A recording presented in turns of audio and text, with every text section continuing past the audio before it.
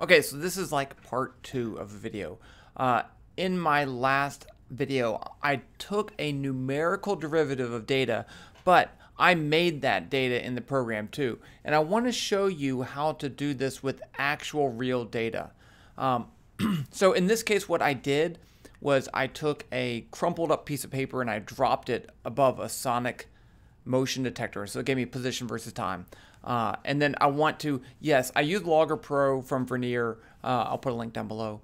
Um, and it does calculate the velocity for you too, but I want to calculate myself. So there's a couple steps that we have to do in order to do this in Python, but we're going to do it on the lowdown, right? And there are other packages that will just take numerical derivatives, but I think it's really useful to actually do it yourself and see what happens. And there's more than one way to do it. In, in the last uh, case, I built each data point one at a time, so I always found the derivative at this point using the previous one.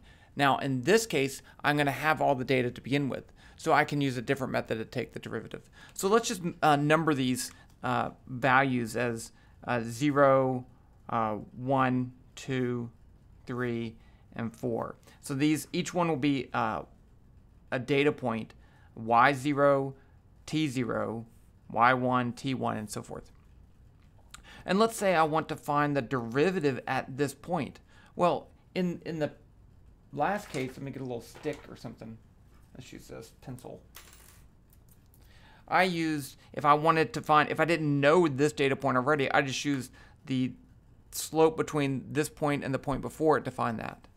Uh, but that ignores what happens in the future. So actually what I'm going to do is to find the slope at this point using this point and that point.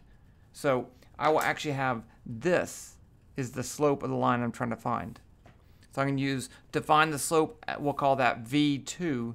V2 is going to depend on uh, 0.3 and 0.1. And now I can choose the normal slope formula. So this is going to be, for V2, it would be uh, Y3 minus Y1. And then I don't have one time interval, I have two. But in fact, I may not even have evenly spaced time intervals, so I'm not even going to do that. Instead, I'm going to do this. I'm going to say T3 minus t1. So that's the slope between point 1 and 3, and I'm going to assign that to the point in the middle. And that's, that's my simple formula. There are better formulas, like I said, but this is the one I'm going to use. Okay, so now you'll notice something here. If I have these four data points, I can find the slope at point 1. It's going to be this. I can find the slope at point 2.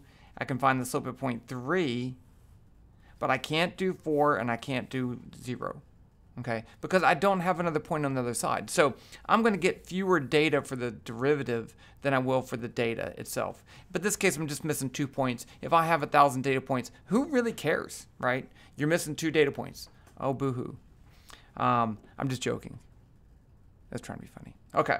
So let's implement this in Python. Now there's a couple things that we need to do, uh, and I'm going to do this in GlowScript VPython, and there's some tricks. I'm going to do this as the most basic way that, that possible. Uh, what I've already done, I'm not going to show you, I took, like I said, a, a wadded up piece of paper. I wanted something just to give me position. I dropped it above a motion detector for a very short amount of time. I got very few data points, like 20 or something.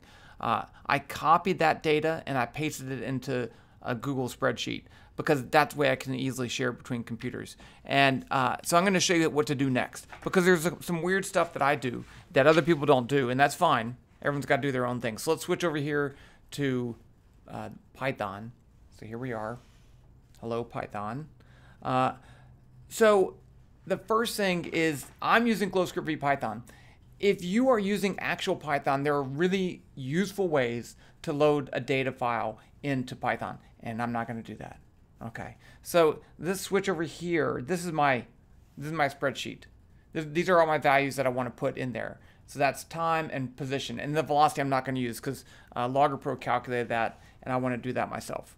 Okay, and I'm going to get a little bit different values because I'm doing it differently than they do. So the first thing I'm going to do is I'm just going to copy all my time data. And this this is kind of this is kind of, you know, a little weird, but it, it works the best. And now I want to uh, make a list of my time values. Uh, and I'm going to try to show you all the important things about a list, even though I do have videos on that. And if I forget to link them, just comment down below and I'll post those. So I'm going to say T is equal to a list. And I'm going to put uh, a square bracket and an open bracket, and then I'm just going to paste that data. I copied it, I'm going to paste it. And it's not going to work, right? Because normally in Python, a list, let me make this a little bit bigger. A list has to have uh, commas between all those things. And, and you can see that I don't have those commas. So this wouldn't, if I run this, it's going to say, what's up with this? Okay, I'm going to just put the commas in by hand. Now you think that's stupid and it's going to take a long time. Well, I only have like 20 data points, so it's not going to take a long time. And also, I can do this. I can say, use the comma key and the arrow, comma, arrow. Look at this. That's not take long, right? That's way easier than just doing something fancy. And there's always this, this, boundary between how do you make it fancy or what. And I don't even need to put it all in one line. I don't care. Just leave it like that. No one cares. Okay. That way I don't have to load a file. Now there is a way in GlowScript that you can put a file online and then have that read it. I just like doing it this way. I've even done it with like really long data sets and just just put the comments there. If there is another trick, um, I can copy that data and then paste it into the text editor and everywhere I see a return, replace that with a comma, and then it just does a find and replace. That works pretty that works pretty well too. Okay, so now let's just see how that works. I can, let's just print t. Let's do a couple things for lists. Print t. It'll print all the values as a list. We can check to make sure that's working. Uh, and see there, that's how you would normally like to see it. I wonder if I could just copy that and paste it. I wonder what happens. Let's see. T2 equals, and now let's print T2. If, if so, I just found something else that, that I didn't actually know uh, print T2. Okay, that worked. So that, that I'm going to change this to T. And then the only reason to do that is that it takes up less space in the program. It looks a bit nicer. That's fine. Okay, now uh, let me save this too. And I will give you the code. Um, let's see. Data derivative. I have terrible names for my stuff. Okay, there it goes. Saved. Did it save? There it goes. Okay. Uh, so now the, a couple other things when I have a list, the important things is I can index each thing in that list. So I can say that first value in the list is 0.05. Watch this, print T0. The first element in the list is zero. So if I print T0, it's gonna give 0.05. If I print the next one, which would be print T1, it should be 0.1. Let's just make sure that works. And that does indeed work. okay, then also just, just for fun, I can print out the last list, the last element, print t minus 1 is the last, so it goes from the backwards. Uh, so the last one is 1, so that should print 1. Okay, so everything's working. Okay, one more thing that I need is the length of the list. I don't want to count all the things, I can actually print that. Print uh, len t. That's going to return the length of the list. 20. Okay, now I need the other value, the other data, which is y. y. I'm going to call it y because it was dropping, even though it says x over here. Uh, so I'm just going to copy that right here, Control C, uh, go back over here and paste it, and then add my commas. Oops, don't do that. See, this doesn't take long. Even if it was, you know, 50, 100 data points. It doesn't take that long. And I'm going to print y, and then I'm going to do my trick. I'm going to copy this. And just paste it right there. There. Now it looks a little bit better. Okay, and then let's just do print. Oh, that's print t. Oops.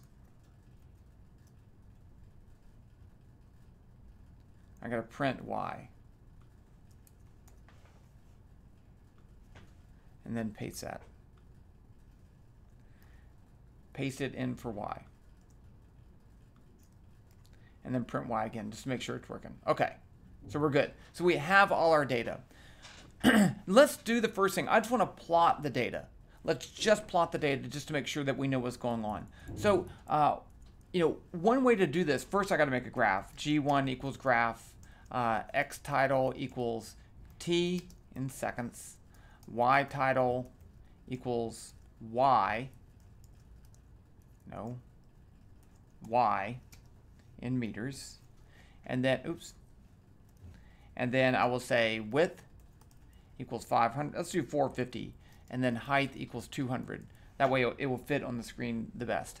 Uh, now I can make a graph. I can call this fy equals g dots. I'm to use g dots. I usually use g curve. Uh, g dots just put data points there. Color dot blue. Now, how do I go through the list?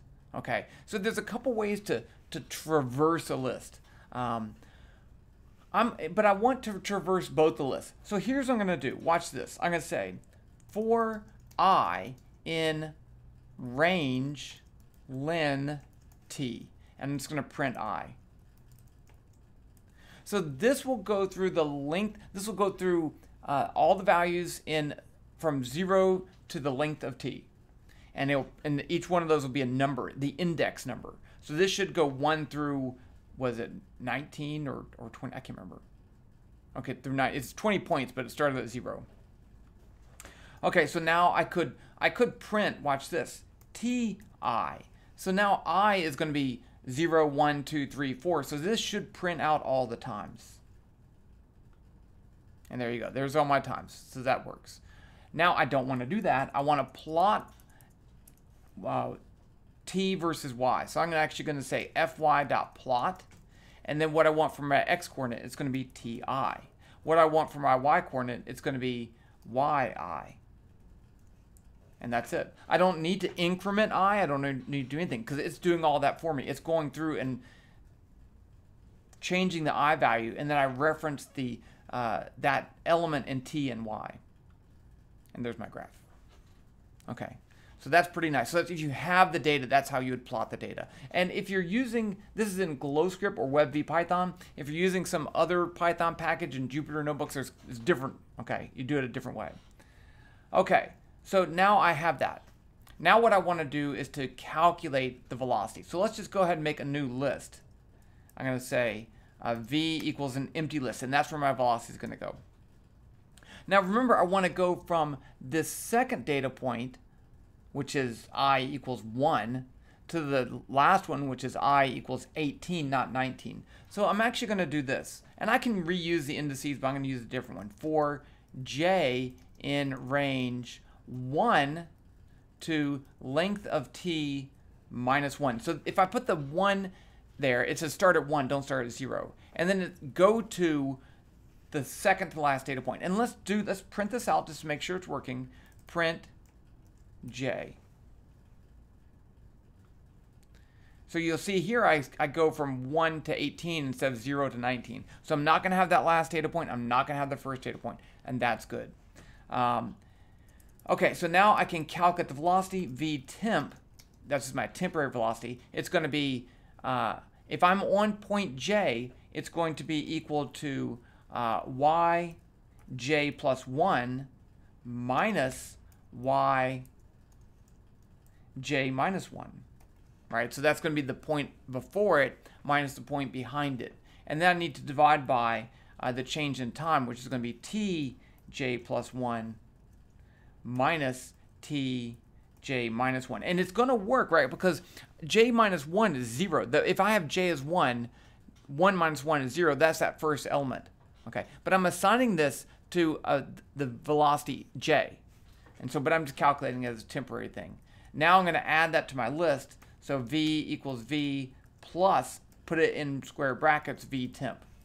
And then I'm going to, I'm going to print out V just so we can see what it looks like. Where's that other print? Did I get rid of the other print? Okay. So let's run this. Okay, so there's my velocities. I did it. Now I just want to plot those. And in fact, uh, can I plot this? I think I can plot these both on the same axes because uh, this goes from 0 to negative 3. No, let's not.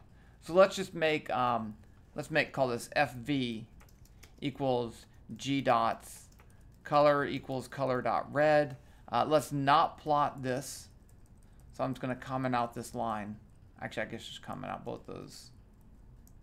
And then down here, I can do the same kind of thing. I'll just say for j in range length of v, right? Because I don't want to plot all of the t's because that's more than v. Um, actually, I do need the t's.